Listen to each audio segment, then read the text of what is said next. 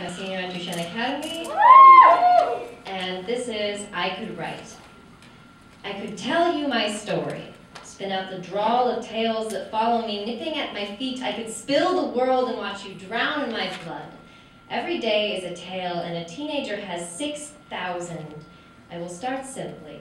Most babies smile at five weeks, and I smiled at just two.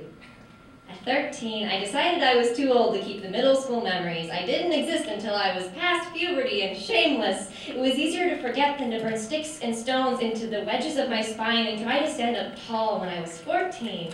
And I stopped flinching at swear words. I thought I fell in love for the first time and cried a summer away when I couldn't keep the illusion anymore.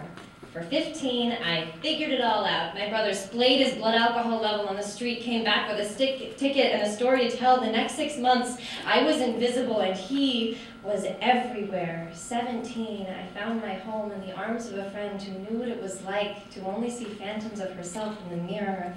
I lost her to a boy who'd gotten bored of beating upon my brain and turned to take hers instead.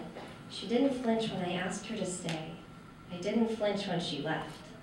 I am 17, and none of these stories really matter to me anymore. I could cut upon the wounds, peel away the skin, and show you what it is like to be alive, to feel pain, but what's the use in these words if they are only ever tormenting? I can hold the past, the present, the hazy future inside my veins, wait for a mortician to harvest my organs, spice stories stuffed up and hoarded in my body, but I cannot let people ache with mine any longer. There is a world brimming with words, sentences dripping down faces and flushed down toilets downstream, away from anyone who can take them and turn them around, turn a frown upside down, turn wine into water again.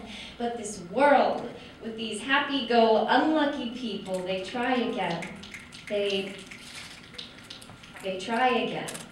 They open their mouths and keep pulling words out of their show, out of their throats. Magicians who never cease to amaze. They bottle their tears and drink them back on lazy Sundays. Dangle their feet in the sun and dare the atmosphere to burn them. Burn them again. Bleed again. Look around you. I am a sufferer, diagnosed with a terminal life but I am one of billions. We are all we are all bleeding. We are all smiling too early or too late. Our pains, our thumbprints in a collage of world history, and someday nobody will remember us, but we still exist. We are still breaking and bonding, colliding in strange and unusual ways. We all have stories. Some choose to tell and some don't, but our existence matters whether we have 6,000 or 600 stories to tell. We were here. We were, we were, we were. And we will beat back against the shore until the world isn't a never-ending tale anymore.